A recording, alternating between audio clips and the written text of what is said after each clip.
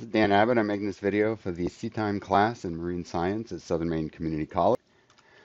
This is going to be an overview of the nautical chart, not how to use it for navigation, but how to read it.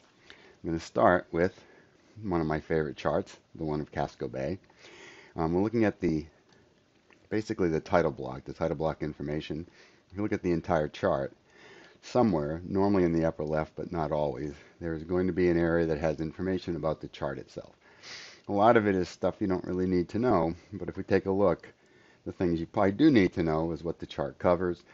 It always has a title of some kind. In this case, Casco Bay is the uh, Casco Bay in Maine. Portland Harbor would say Portland Harbor and vicinity. So I've got two charts up here, the Casco Bay and the Portland Harbor chart. Always has an indication of projection. It's virtually always Mercator. That just means that there's some distortion in the sizes of land masses that distortion is minimal, in fact, unnoticeable when you have a small enough area on the chart. The larger the area, the more it gets distorted. What that means is at the top of the chart and the bottom of the chart, things are a little bit larger or smaller than they really exist, and as a result, the scale along the side expands or contracts as you go up and down. That's normally not an issue with the scale of the charts that we're using for this class. Actually, it's never an issue. So what you have here after Mercator projection is you have the scale used for the chart. This is a ratio. The number on the left represents the, the chart itself, a distance on the chart. That's true of everything that you ever see that has a scale on it. A map might say one inch is 100 miles and one inch equals one mile. The one inch represents the, the map. The other side of the chart, the other side of the colon represents the real world. Scales come in either ratios or they come in units. The United States is the only place that uses units. Everywhere else in the world, it's just a straight ratio. So it doesn't matter here what the units are. The real world is 40 times larger than this chart of the real world. If you took a banana and put it on the chart and said, huh, the distance from here to here is one banana, in the real world it's 40,000 bananas.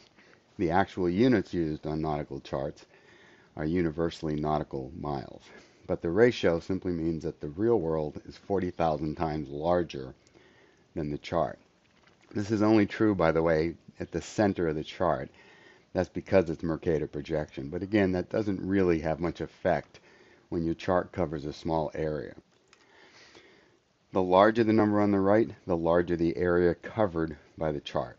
The smaller the number on the right, the smaller the area, but the more detailed. So if you look, Casco Bay is a 1 to 40,000 chart. Portland Harbor is a 1 to 20,000 chart.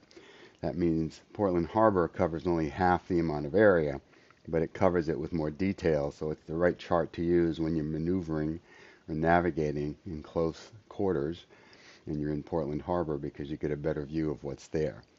This could show up pretty significantly where you have a lot of buoys fairly close together. So we'll go back to the Casco Bay chart. So the other things you need to know about this are the fact that the soundings are in whatever. They're either going to be in feet or fathoms or meters. Those are the only three units that are going to be used. NOAA announced years ago that they were going to convert all nautical charts in the United States to meters so that they meet the international standard.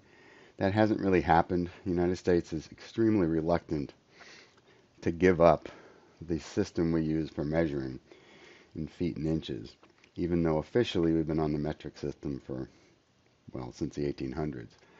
At any rate, you need to understand what the what the soundings are, especially if you think they're in meters or you think they're in fathoms and they're actually in feet, because then you don't have nearly as much water under you as you think you do. Fathom, by the way, is six feet. And soundings are at mean lower low water. Lower low just means that there are two low tides in, in Casco Bay. One of the low tide, two low tides a day. One of them is a little lower than the other. So the average of the lower of the two low tides is what's used for the depth given on the chart. That means it's possible for the um, water to actually be shallower than indicated on the chart when you have an unusual tide, what would be called a drainer tide, where it goes negative below the mean lower low water. So if you're taking a look at the tide charts, if anything is identified with a negative number at low tide, that negative number means it's even lower than what the chart says. And that can be as much as, well, it can certainly be as much as half a foot, maybe a little bit more than that. So it's one of those things worth noting when you're looking at a chart. Down below, you often have, not always, but you often have a little table indicating generally what the tides are. The tides around Maine are a little under 10 feet generally. They can be over 10 feet. Um, and then low water is normally a little above the um, the mean, but it can be a little below, and that's what the negative would be. Shows you some abbreviations here. We're not going to go over all these abbreviations, but you can go back and look, and if you see something, for instance, if you see something on the chart and you're wondering what does it mean, so you look it up and say, what is, why does it say Q? That would be quick. Quick flashing is a flash, flash, flash, flash, flash. Nautical miles are measured with just the letter M, etc. Colors are put here. So anytime you find something and you're wondering, MSG, what does MSG stand for? Mud, sand, and gravel. And all, the, all those abbreviations. So MSG is actually three abbreviations put together. As far as the rest of this up here, there's nothing that you really need to know. It is possible to measure distances using a scale, and this scale is measured in nautical miles or yards. Yards were used for a long time by people on the water, but I've never used yards to measure anything. I'm always talking about nautical miles. But yards can be useful in close quarters if you're trying to determine how far away something is. This chart, I mean this scale duplicates the scale you would have right at the middle of the chart, right in here, where you have minutes identified. And since a minute is a minute of latitude, not longitude. A minute is one nautical mile. The distance from here to here is going to be identical to the distance from here to here on that scale. Now, if we take a look, obviously the tan color is land, so you're not going to navigate on the tan color. But there are a few other colors on here worth, that are worth looking at as well. I'm looking at the Royal River right now going up into Yarmouth. The Royal River is a really good indication of this because what you have here is this kind of olive color. I don't know what they actually call it, but I call it an olive color. That's areas that are covered in water at high tide, but not covered in water at low tide. And so this is this is uh, illustrating what would be true in low tide. So if you're going up the Royal River and you're navigating, you have a series of buoys here that are all what are called laterally significant buoys. And it is really, really easy to go aground when you're going up that river especially at a sort of mid or mid-low tide when there might be six or seven inches of water covering this area, but it's normally mud at dead low tide. So if it doesn't look like it's actually shallow, it could still be very shallow. And there are a number of boats that have gone aground here. The good news is that it's mud. The uh, bad news is if you go aground at a tide that is going out, you'll be sitting in that mud until the tide comes back in. Here's a case where the rule about going into an area like this on a rising tide makes a lot of sense.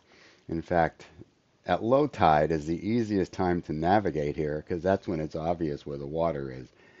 High tide is where it just looks wide open, and that's not bad either because you still have, at high tide, six, seven feet of water under you. It's that sort of low mid tide where the water looks like it's deep, but it really isn't that causes the problem. As far as the buoys go, you have um, navigational buoys that are either laterally significant or they have some significance about a specific spot. Laterally significant means that the that the um, buoys are identifying a channel where there's a right and a left, and that right and the left has to do with returning to port or leaving port. Have to be careful with that. Returning to port is not always as obvious as you might think, and we're going to take a look at another area in the chart where you have to understand when the buoys were put in were they put in with the assumption that you are leaving Falmouth or entering Portland, or leaving Portland or entering Falmouth? And places where there are ports nearby, that can be a confusion, and it's one of those things you want to really be careful of. Because if you put yourself on the wrong side of one of these buoys, and you can see that right here, you are then in areas that don't have enough water to support the boat, possibly. And by the way, don't cut this too close. I have been in an area before where as far as how far my prop was down in the water and the number of uh, feet given on the chart would indicate that I had enough water to go through, but then sometimes there's something on the ground or on the bottom. In one case, it was an old mooring. The, buoy, the uh, mooring buoy was gone, and the, mooring, the mooring ball was gone. And I clipped the old mooring and took a couple of blades off my prop. So the um, thing here, this is the whole idea of red right returning, and that's something people think is all they need to know, but it really isn't. So if we're coming in this channel, we're going back to Yarmouth. That's the port. So the red buoys are on our right. None of these buoys is lighted, and it's not lighted, and you can tell on the chart because, unlike this buoy right here, that doesn't have a magenta circle on it. Now, by the way, you might wonder why didn't they use red here? When people are navigating at night, in order to prevent night blindness, they frequently don't use a white light, they use a red light in the cabin. So if you have a red buoy, a red color on the chart, under a red light, you can't see it. So magenta is used so that it differentiates the color even if you're looking at it under red light. So the fact that this is magenta doesn't mean that the light is magenta. It means that it has a light, period. In this case, the light is actually green. If we had, we have a, yeah, that's a white light. Um, actually, it's a yellow. so there is no yellow um, color that's used for the buoy. It's just left open. And I was looking for a red. Here we go. So here's a case where there's a lighted buoy. The buoy is red and the light is red. Um, and that's why the two colors are the same. Now you can always look and see how is it labeled. The letter R stands for red. In quotes is whatever's printed on the side of the buoy. So the number 18 is on the side of that particular buoy, and that's another really critical buoy to pay attention to because you got rocks all over the place between this. If you come over here to Great Chebeague, this is a big mess right here.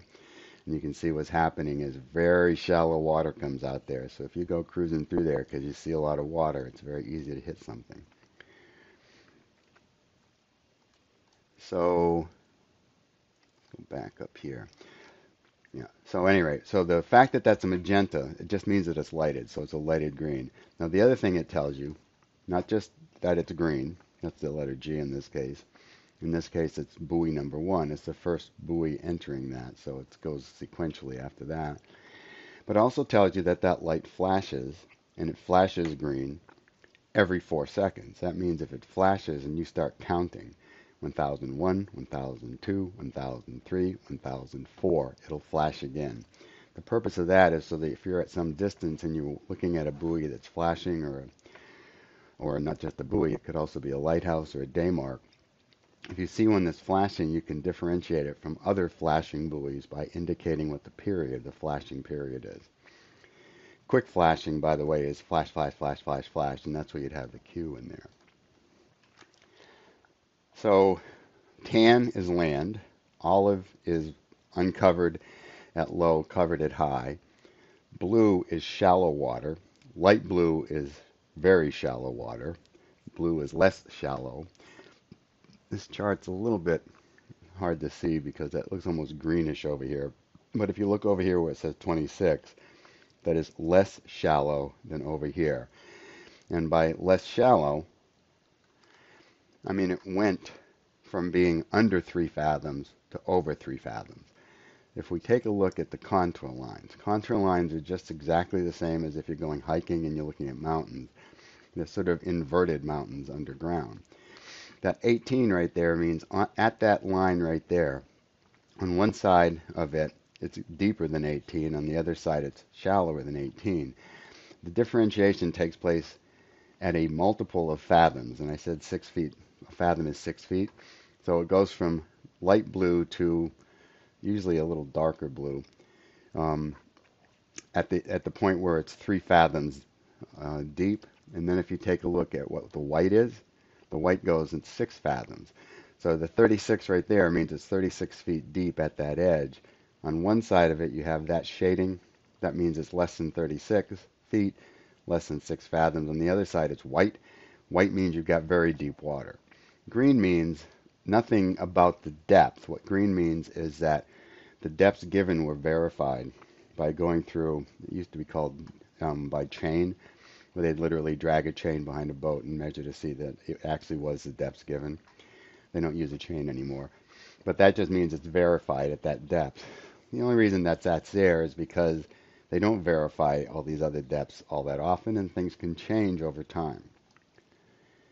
Okay, over here we have a great example of a lot of little asterisks. Those are all rocks.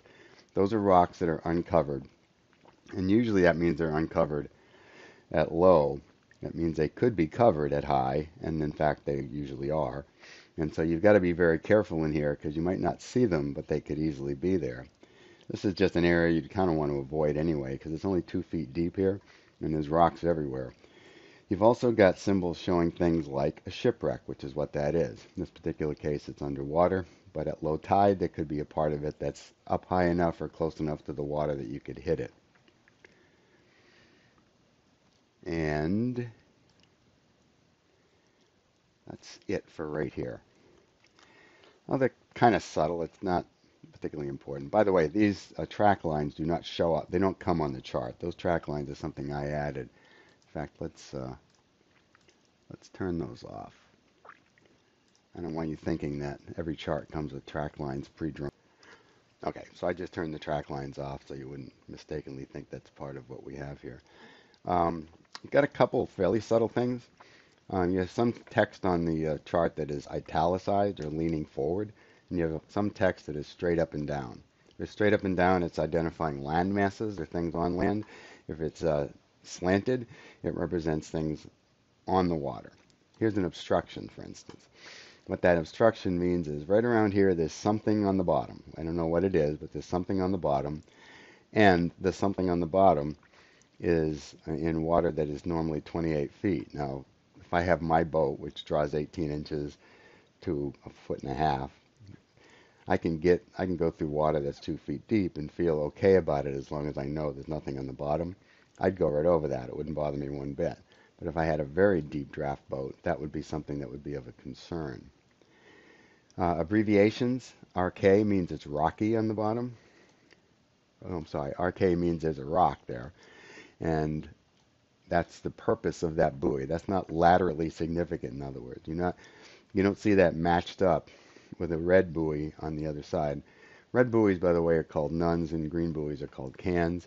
Red buoys have even numbers, green buoys have odd numbers. Um, but this one is simply to identify the fact that there's a rock right here, and that rock is only five feet deep. RKY means rocky. That means the bottom is rocky.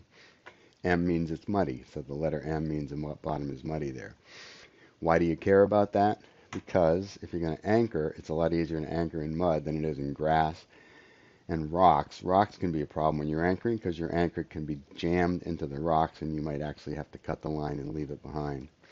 Some buoys have two colors, red and green. This one's red on top, green on the bottom. It's called a nun because it's red on the top and green on the bottom. If it were the other way around, it would be um, called a can. Um, and CI is what's on the side of that because it represents Cow Island. Cow Island Ledge is right over here. Cow Island Ledge has a buoy over here that's green on the top and red on the bottom and it's a can. That's what the letter C stands for. And it has CIL for Cow Island Ledge. Cow Island Ledge also has a light, and the light in this case is white, and it is flashing every six seconds, 23 feet, 8 nautical miles. Now what that means is 23 feet is how high it is above the um, above the uh, high water mark, 8 miles is its visibility range. In other words, you should be able to see that under perfect conditions if you're 8 nautical miles or less away. Uh, the RA, by the way, means radar. Radar reflector is what that means. That means if you've got radar, there's a radar reflector on here, and you should be able to pick it up on your radar even at night.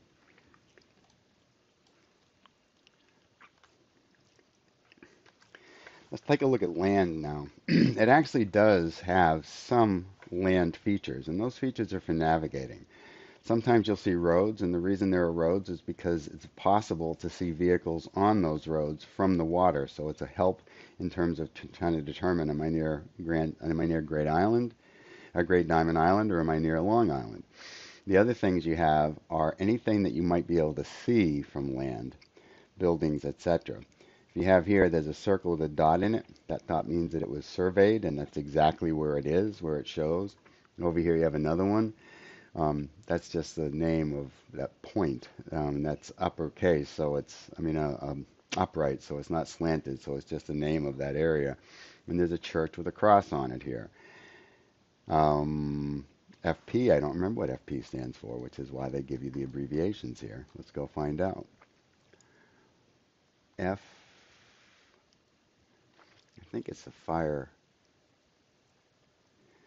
well, not all. Bomb characteristics, arrow. Huh. I do not remember what FP stands for. However, it doesn't matter because what I'm doing is looking for something I can see there. Excuse me. And as long as I can see it, I'll tell that it's something sticking up in the air. FP. Well, I just don't remember. But let's take a look at the city of Portland itself the city of Portland itself, there are a couple of things that you can see there. One of them is the cathedral. The cathedral is a church, and it sticks up because it has a spire, and churches are frequently used as navigation aids on nautical charts.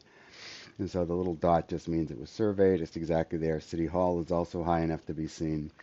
Interestingly enough, there is a tower over here that was designed at one time for people to go and look for sailing ships on the way in. And that's called the Portland Observatory. And I'm never, I'm never, I always wondered why they didn't put that on there because that's also something that's very visible. You also have buildings that are visible, and you notice there's a little black spot right here. That's a very tall building that you can see from almost anywhere.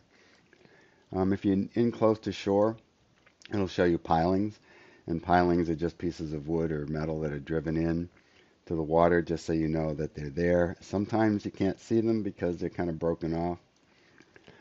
Um, the channel, this is a, a, dredged channel, that's why the lines are so sharp along the sides here. And there is a note about this, and the note probably tells you the last time it was dredged. The reason it's dredged to 35 feet is so oil tankers can come up and go under the bridge. Oh yeah, so bridges. there is a bridge, and there's notes about every bridge, and the notes about every bridge indicate what your clearances are. You have two types of clearances.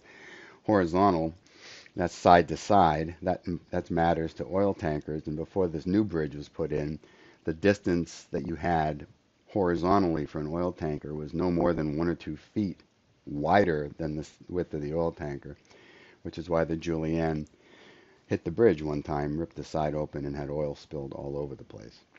Vertical clearance is up and down at high tide. So the, the, the most clearance you have is at low tide, but the least clearance you have is at high tide, and that's 55 feet. Now, this is a bascule bridge. That means it opens. So once it opens, that vertical clearance goes to infinity, and then you know you can uh, get through there. TR Tower yeah, there's a bunch of towers here.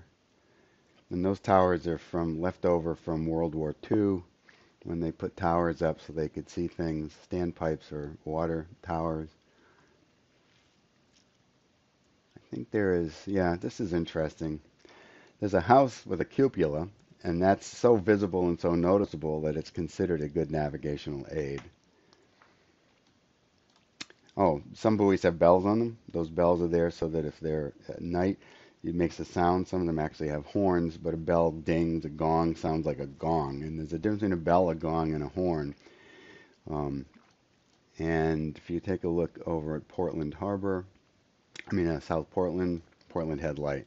So Portland Head Light has a number of things going on. It has a light that flashes every four seconds. It's 101 feet off the off the uh, ground, and it has a 19 mile range of visibility. That means you can be in clear conditions. You can be 19 miles away and still see the top of this where the light is actually going on. It has a horn, and that horn goes off whenever it's foggy. And it has, um, a, and it's a sector light, and there's a sector light that's down below the, the uh, white light. The sector light is red, white, and green, and it's 34 feet off the ground, and it's flashing. No, I'm sorry, it's fixed. That sector light means that if you are out here, those lines indicate that if you're right here, that sector light should look white. If you're outside the sector light, it's going to be red And the reason it's going to be red, here we go. Someplace when you have a sector light, it shows you where the colors are. So the white sector is in the middle. you can be headed right down that white sector in a very large ship and not worry about going aground. The red sector means avoid this area because there's some kind of an obstruction that if your boat has a deep enough draft, you might have a problem with. And the green sector means you're in safe water. The other sector light that you're more familiar with is the one on our campus, and that's this one right here. So there's your sector light here, and again, if you go out far enough, it'll show you what the sectors mean. And doesn't it show you? Well, in this case, I'll tell you what the sectors mean. It's a sector light, and if you're seeing it white, you can come right down the channel with no problem at all. Oh, right here. Sorry, I went out a little too far. So if you're right here and you can see that light and it looks white, that means you're in safe water. And you can see there's even a navigation buoy here. That one's green. It's lighted. You're coming back, so you would leave that on your left. But you can come right down through here without any danger of going aground. If it's red, that means you're off to the right, where you've got all kinds of problems over here. Or you're off to the left, where you have all kinds of problems over here. And interestingly enough, it even shows red on the ground.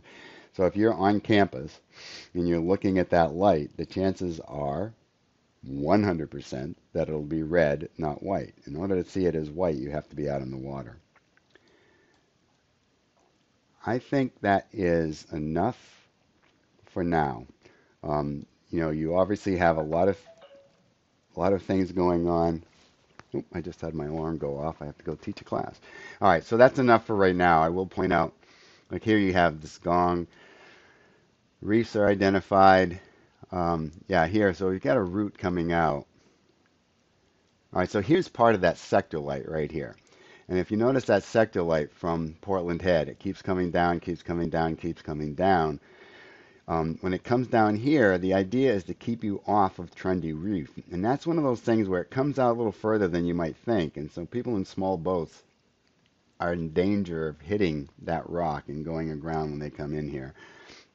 And the shading is such that you know if you're in white water, you're you're able to navigate. These are all just um, essentially highways that are laid out for very large tankers, aircraft carriers, whatever. And those are known as CHIPS channels, and those channels have a um, essentially um, a, um, a street kind of layout where two deep water vessels when they're meeting stay to the right of the channel in either direction, just like if you're driving on a highway. I think that's enough for this. There are a number of other things about this chart, and I would I did want to point out that there is something called chart one. Chart one, if you take a look at it, is um, it's not really a chart at all. It's really just a table of abbreviations and terms and symbols. But if I go down through this, if you decided to read chapter one and memorize everything in it, you enjoy your weekend because you're going to see a lot of stuff going on here. And all the various symbols in, uh, that are used on the chart, the abbreviations, they're all laid out here. So for instance, I probably can figure out what that FP stands for if I look hard enough here. Um, but you can see like those are identifying uh, things that you can see a silo and elevator. They're specifically labeled just like the church was also labeled. The cathedral was labeled. But I will, uh, I'll check and see what that is. You see, I just want to take one last look and see if there's anything else. Well, we've talked about this for navigation, but you have a compass rose on every chart. Um, so just one last thing. The compass rose is actually two compass roses. You've got um, orientation true, and true means zero is at normally the top. Sometimes charts are skewed, but for the most part, north is up, and that's the north star kind of arrow. Um, so then it also tells you magnetic because the magnetic north varies depending on where you are on Earth. And it tells you here that this is a 15 degree, 15 minute west variation. That means magnetically, when you think you're headed north because your compass says zero, you're not really headed north. You're a little bit west of north. And that's why it says west down here. And by a little bit, I mean 15 degrees, 15 minutes. Tells you the date that that was true and it also, so you can kind of get a sense, since it's been three years or four years since that date, it's got an annual decrease of five minutes. Well, five times four is 20 minutes. So that means you might be down under 15 degrees. On the other hand, this is not linear. It changes over time. That's why they actually put the date on here. Sometimes it's decreasing, you know, fairly regularly, and then it goes in reverses and starts to increase. So the, the magnetic variation really depends on the flux generated by molten iron deep underground. And because it's molten, it does move around a little bit. And as it moves, it changes what's called an agonic line. It changes how your compass lines up over that spot. And I'll just one more reminder on a compass. It does not point to anything. It lines up with a magnetic flux line directly under your boat.